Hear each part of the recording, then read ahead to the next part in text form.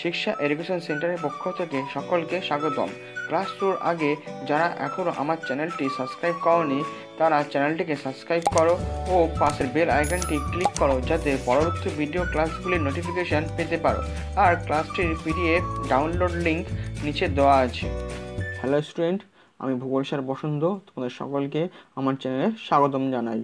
আজ ক্লাস টুয়েলভে যে চ্যাপ্টার নিয়ে আলোচনা করব, সেটি হলো ভূগোলের কাস্ট ভূমিরূপ। তো এই কাস্ট ভূমিরূপ ক্লাসে প্রথমেই জানতে হবে কাস্ট কি? কাস্ট হচ্ছে চুনাপাথর দ্বারা গঠিত একটি মালভূমি বা ভূমিরূপ বা ভূমিভাগ। এই কাস্ট শব্দটা কোথা থেকে এসছে? না একটি জার্মান শব্দ থেকে এসছে, যার অর্থ উন্মুক্ত প্রস্তর ক্ষেত্র। এই কাস্ট ভূমিরূপটি তৈরি হয় কোথায়? চুনাপাথরযুক্ত অঞ্চলে। এই কাজটি কীভাবে তৈরি হয়? কাজ তৈরি হয় হচ্ছে একটি রাসায়নিক বিক্রিয়ার ফলে। সেটা কীভাবে সংঘটিত হয়? না, বৃষ্টির জল যাকে আমরা এইচ টু ও বলি, তার সাথে যে কার্বন ডাই অক্সাইড আছে, যাকে বলি আমরা সিও টু মিলেমিশে তৈরি হয়ে যায় একটি অ্যাসিড যাকে বলা হয় কার্বলিক অ্যাসিড এই কার্বলিক অ্যাসিড এবং চুনাপাথর, এই দুজনের মধ্যে রাসায়নিক বিক্রিয়ার ফলে সেটি দ্রবিত চুনাপাথর ভূমিভাগটি দ্রবণ ঘটে এবং সেখানে বিভিন্ন ধরনের ভূমিরূপ তৈরি হয়। কোথায় কোথায় কাস্ট অঞ্চল তৈরি হয় সব থেকে মানে মূলত বেশিরভাগ যে কাস্ট ভূমি দেখতে পাওয়া যায় সেটা হচ্ছে পূর্বতন যুগোস্লোভিয়ায় এছাড়া আমেরিকা যুক্তরাষ্ট্রে, দক্ষিণ ফ্রান্সে যুক্তরাষ্ট্রে, মেক্সিকো, এছাড়াও কিউবা জামাইকাতেও দেখতে পাওয়া যায়। এবং সবথেকে গুরুত্বপূর্ণ সেটা হচ্ছে ভারতের মধ্যে যেটা দেখতে পাওয়া যায়, সেটি হচ্ছে উত্তর অঞ্চলের দেরাদুনে ও মধ্যপ্রদেশের পাঁচমারিতে। নেক্সট জানতে হবে যে কাস্ট অঞ্চলের প্রধান লক্ষ্য কী। ভূগোলবিদরা বলছেন যে কাস্ট অঞ্চলের প্রধান যে তিনটি বৈশিষ্ট্য থাকতে হবে, সেটি কি? না, দ্রবণের ফলে ভূগর্ভে নদীর বিকাশ তৈরি হবে। নেক্সট বলা হচ্ছে ভূপৃষ্ঠে অবিন্যস্ত জল নির্গম ব্যবস্থা দেখা যাবে। তৃতীয় বলা হচ্ছে ধস ও দ্রবণের ফলে বিভিন্ন গর্ত আবদ্ধ অনমিত অঞ্চল দেখতে পাওয়া যাবে।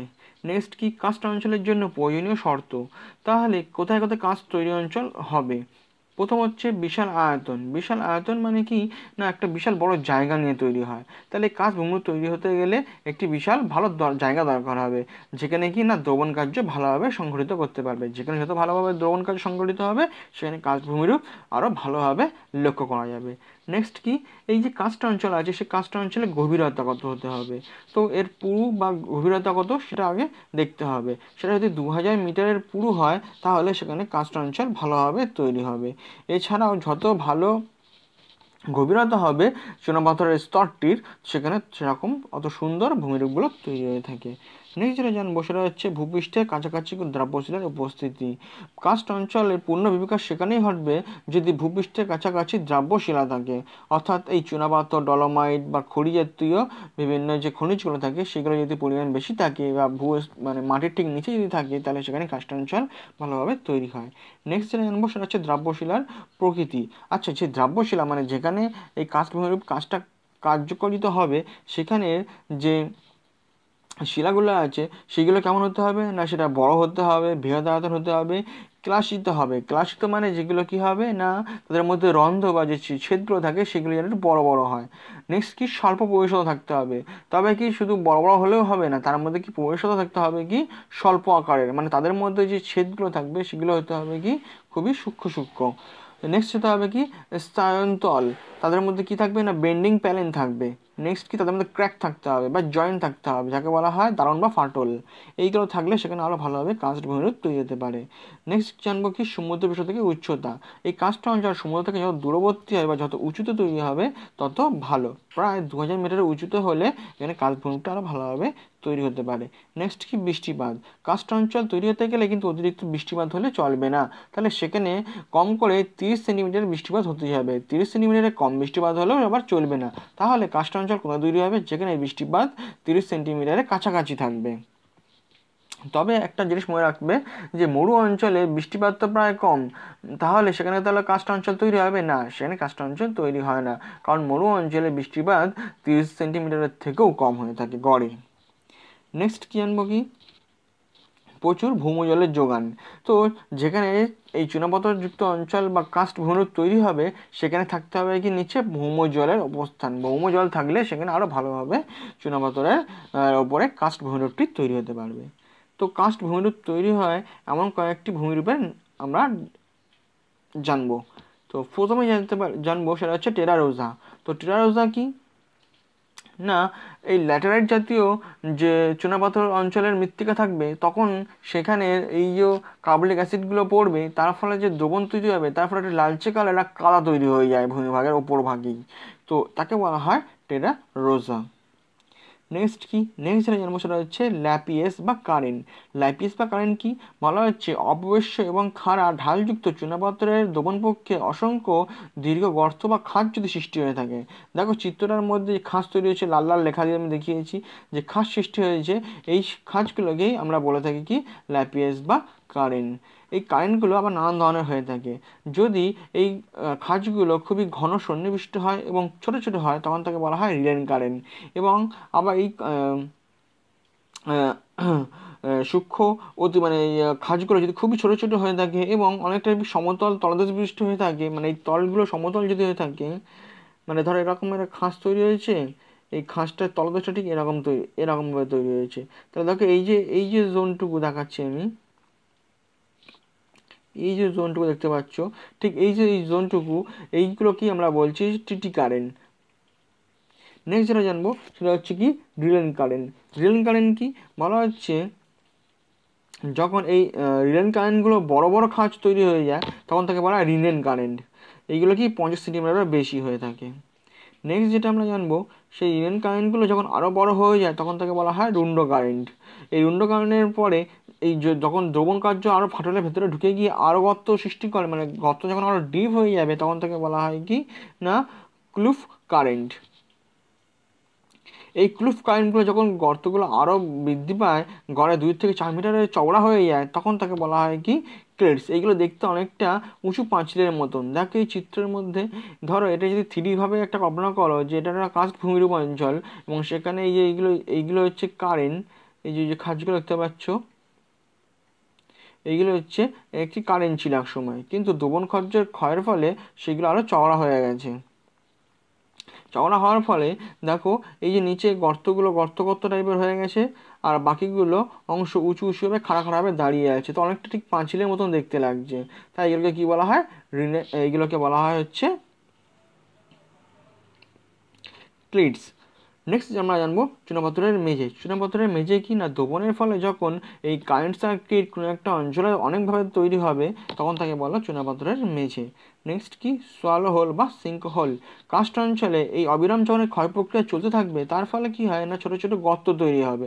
এই ছোটো ছোটো গর্তগুলোকে বলা হয় সোয়ালো হোল বা সিঙ্ক হোল নেক্সট আমরা জানব এই সিঙ্ক হোলগুলো উৎপত্তি হয় দুভাবে একটা হচ্ছে শিলাস্তরে কোনো রকম প্রাকৃতিক বিপর্যয় ঘটলে, দ্বিতীয় ভূ অভ্যন্তরে কোনো সুরঙ্গ বা গহ্বর থাকলে। তাহলে এই কাজ ভূমিরূপটি ধসে গিয়ে তৈরি হয়ে থাকে এই সিঙ্ক হোল নেক্সট জানব ডোলিন। ডোলিন কি এই কাস্ট অঞ্চলের সিঙ্ক হোলগুলো যখন আরও দোবনের ফলে গর্তটি বড় হয়ে যাবে, প্রায় দুই থেকে একশো মিটার গভীর এবং ষাট থেকে হাজার মিটার ব্যাসযুক্ত হয়ে যাবে এর মুখটা, তখন তাকে বলব কি ডোলিন। এই ডোলিনের মধ্যে কি শুষ্ক উপত্যকা দেখতে পাওয়া যায়? এই ডোলিনগুলো সব থেকে বেশি দেখতে পাওয়া যায় শুষ্ক নদী উপত্যকায়। এই ডোলিনগুলো আবার চার ধরনের হয়ে থাকে। একটা দোবনের কার্যের ফলে হয়, ধসের ফলে হয় দমন কার্য হয়ে থাকে ধসের কার্যের ফলে হয়ে থাকে। আবার চুনাপাথরের স্তর বসে গিয়ে অবনমন ঘটে হয়। অবনমন ডলিন আবার নদীর ভূঅভ্যন্তরে প্রবেশ করে গিয়ে যখন ডলিন সৃষ্টি করে, তখন তাকে বলা হয় উদ্ভুত্ত ডলিন নেক্সট দেখো জানতে হবে সেটা হচ্ছে দ্রবণ প্যান। দ্রবণ প্যান কিনা? ডলিনের থেকেও বড় কিন্তু অগভীর। দ্রবণজাত গর্তগুলোকে বলব কি? দ্রবণ প্যান। দ্রবণজাত গর্ত মানে কি? এগুলো হচ্ছে অগভীর হবে। দেখো এই ছবিটার মধ্যে। এখানটার মধ্যে দেখো এদের একটা কিন্তু রোলিন রোলিনের ভেতরে কী হচ্ছে? ভেতরে যে গলিত দ্রাব্য পদার্থগুলি আছে সেগুলো সেখানেই জমা হচ্ছে। এবং যার ফলে একটা ছোট্ট গর্ত মতন তৈরি হয়ে গেছে।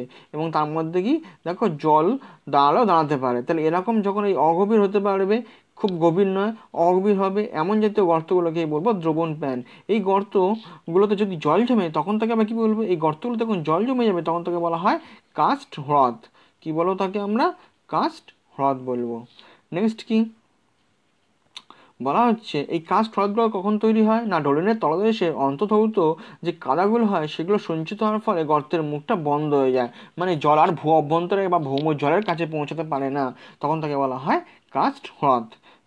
নেক্সট যেটা জানব, সেটা হচ্ছে কাস্ট গবাক্ষ। কাস্ট গবাক্ষ কি?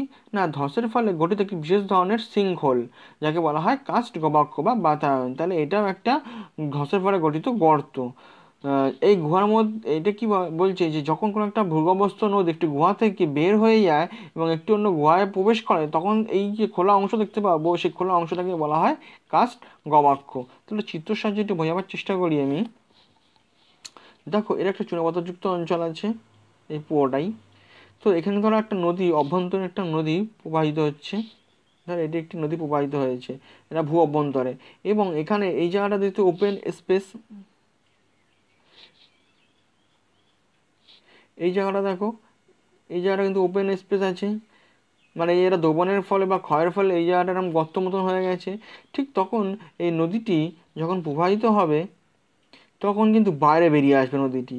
এবং বাইরে বেরিয়ে এসে আবার এখানে ক্ষয় করার ফলে এদিকে প্রবেশ করে যাবে। তাহলে দেখো, এই জায়গাটায়, এই জায়গাটা উঁচু অংশ, যার ফলে নদীকে দেখা যাচ্ছে না। এই জায়গাটা উঁচু অংশ নদীকে দেখা যাচ্ছে না, কিন্তু এই জায়গাটায় কিন্তু নদীকে দেখা যাচ্ছে।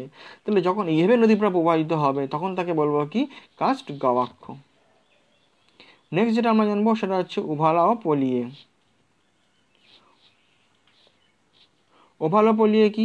বলা হচ্ছে, জলের সাথে দ্রবীভূত অম্লের প্রভাবে ডোলিনগুলির আয়তন ও গভীরতা যখন ক্রমশ বাড়তে থাকবে বা দুটি ডলিন ডলিন যখন একত্রে একটা বড় গর্ত তৈরি হয়ে যাবে, তখন তাকে বলা হয় উভালা। চুনপাথর দ্বারা গঠিত এই উভালা যখন আরও বড় হয়ে যাবে এবং চারদিকটা ঘেরা অঞ্চল, একটা মানে পুকুরের মতন শেপ নিয়ে নেবে, তখন তাকে বলা হচ্ছে পলিয়ে। নেক্সট আমরা জানব কি? না গিরিখাত কাস্ট অঞ্চলে ভূমিরূপে সমান্তরালে অবস্থানত চুনাপথের স্তরের উপর প্রবাহিত নদী দমন প্রক্রিয়ায় ভূপৃষ্ঠে ক্ষয় করবে। তাহলে শুধু বৃষ্টির জলই ক্ষয় করে না, এই নদীর মধ্যে যে জল আছে, সেই জল জল আবার কী করে? না কাস্ট অঞ্চলকে ক্ষয় করতে থাকে। তো এই যখন ক্ষয় করে, তখন কি হয়? না, একটা খাঁ ঢালযুক্ত গিরিখাত সৃষ্টি, একটা উপত্যকা তৈরি হবে। তাহলে যখন নদীরা চুনাপাথর অঞ্চল দিয়ে প্রবাহিত হচ্ছে ফ্লো করছে, তার যে রিভার বেসিন হয়, বা যেটা তার ভূমিভাগ হয় বা নদী ছাড়াপথে প্রবাহিত হচ্ছে, সেই জায়গাটায় কি হয় না একটা গিরিখাত তৈরি হয়। সেই গিরিখাতটা কেমন হবে না আরও বেশি গর্ত বা গভীর হবে? তখন তাকে সেই গিরিখাতগুলোকে বলা হয় কাস্ট কাস্টের ফলে তৈরি করি গিরিখাত বা কাস্ট গিরিখাত। নেক্সট কি? শুষ্ক ও অন্ধ উপত্যকা শুষ্ক অন্ধ উপত্যকা কি? বলা হচ্ছে যে, কাস্ট অঞ্চলের ভূপৃষ্ঠ, কাস্ট অঞ্চলে ভূপৃষ্ঠের উপর দিয়ে পরিবাহিত নদী গতিপথে কোনো শৃঙ্খল থাকলে অনেক সময় নদীর জল সেই শৃঙ্খলের মধ্যে ঢুকে যায়। তো শৃঙ্খল তো মানে গুহা? তাহলে ভাবো ঠিক এইভাবেই একটি চিত্র মধ্যে দেখাই। এইভাবে এই চিত্রটা দেখো এখানে। এই যে দেখতে পাচ্ছ, এই জায়গাটা খোলা অংশ, এই যে গুহার খোলা অংশ বলছে। তো এখান থেকে যদি কোনো একটা নদী প্রবাহিত হয়, তা নদীটা কী হবে? এদিকে তো যেতে পারবে না নদীটা। এখানে যেতেই পারবে না নদীটা, কারণ এখানের মধ্যে নদীটা এসে এদিকে ঢুকে পড়ছে। যেহেতু সামনে একটা গর্ত পড়ছে, সেই গর্তের মধ্যে নদীটা ঢুকে পড়ছে। তাহলে এই নদীর নদীটা যখন এই গর্তের মধ্যে ঢুকে পড়ে, তখন এদিকে আর প্রবাহিত হয় না। তাহলে এদিকে যেহেতু প্রবাহিত হচ্ছে না, এই অংশটুকুটা এই অংশটুকু নদী প্রবাহিত হতে পারছে না। যার জন্য একে কি বলব? এরা ড্রাই হয়েছে বা এখানকার একসময় নদী ছিল, কিন্তু এখন আর নদীটা দেখা যাচ্ছে না। কারণ এখানে একটি গর্ত পেয়েছে গর্তের ভেতরে জলগুলো পোট হয়ে যাচ্ছে নদীতে, নদীর জলগুলো। এবং সেটা ভুয়া বন্দরে চলে যাচ্ছে দিয়ে প্রবাহিত হচ্ছে। যেখানে আমরা আগেই বললাম যে কাস্ট গবাক্ষ সেখানে সেরকমভাবে তৈরি হয়ে গেছে জিনিসটা। যার ফলে কী হলো? এই জায়গাটায় নদীটা দেখা যাচ্ছে না। এই নদীটা দেখা যদি না যায়, তখন তাকে বলা হয় শুষ্ক উপত্যকা। এই শুষ্ক উপত্যকা যখন তার প্রবাহিত হতে হতে যখন তার গতিপথটা হারিয়ে যায় মানে এখান থেকে একসময় যেত তো, এখন আর যাচ্ছে না। তাহলে যখন এটা শুকিয়ে যাবে, তখন তাকে বলব কি? অন্ধ উপত্যকা। নেক্সট যেটা জানব সেটা হচ্ছে গুহা। গুহা কি না? ভূগর্ভের ভৌম জলস্তরের কাছে বা সামান্য নিচে, দ্রবণের ক্ষয়ের ফলে শিলাস্তর ধসে গিয়ে গর্ত তৈরি হবে, একটি শূন্যস্থান তৈরি হবে, তখন তাকে বলব গুহা। এই গুহার পরে যেটা পড়ে সেটা হচ্ছে ড্রিপস্টোন ড্রিপস্টোনটা কি? বলছে গুহার যে ছাদ থাকে, তা থেকে জল চুয়ে চুয়ে যে ভূমিরূপগুলো গঠিত হবে তাকে বলা হয় ড্রিপস্টোন তাহলে ভাবো, এই যে এখান থেকে নদীটা প্রবাহিত হচ্ছিল।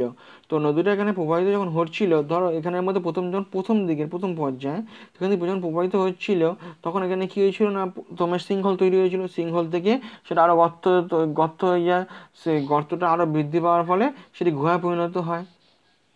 এবং এই গুহার মধ্যে দেখো, জলটা যদি এদিক দিয়ে ধরো, প্রবাহিত দাঁড়াও।